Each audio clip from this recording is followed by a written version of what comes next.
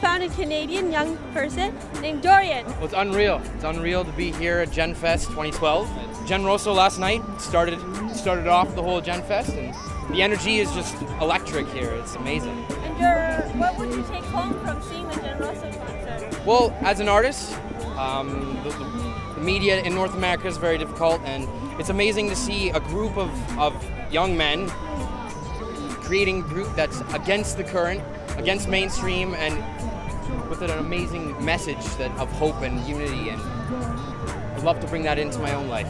This is my first time at the Gen Fest. And how did you hear about this I, event? I heard about it uh, in the from the Focolare in Glasgow in Scotland.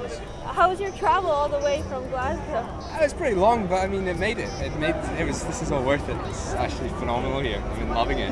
How did this idea come about to do a ceilidh? Well, it's a traditional Scottish dance, um, and we found it lots of fun and a good way to meet other people. And we thought that everybody here would enjoy it, and it'd be a nice way for people to, to meet each other and to have fun. Let's, Let's. Let's break.